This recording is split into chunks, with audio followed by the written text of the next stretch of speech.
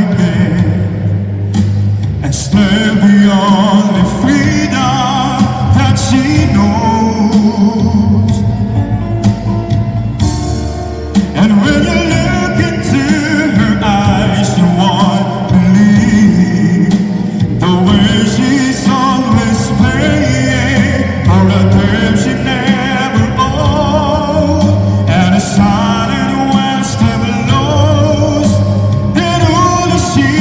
can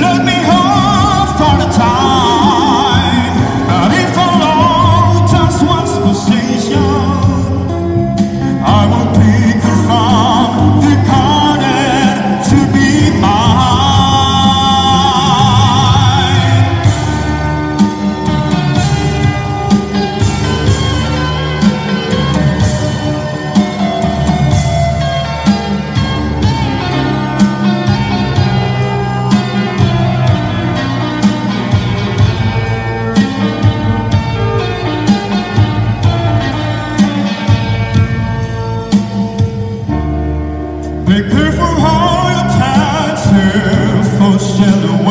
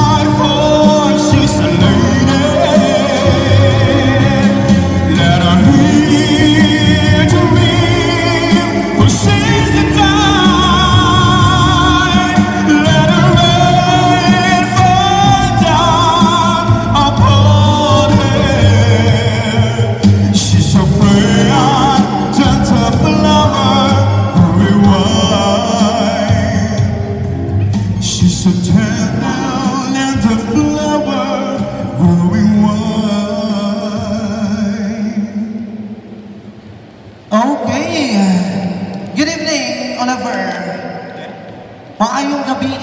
May gabi po sa tanan. So you are one of the prominent star during our Kawayan Got Talent seasons. Yes. So ilang beses kang nakapasok sa ating grand finals for our KGT. I think marag two seasons, Duha. duha ka seasons ka nga na-join sa tuang KGT Grand Finals. Unfortunately, wala ka makasud sa top 3 for our KGT.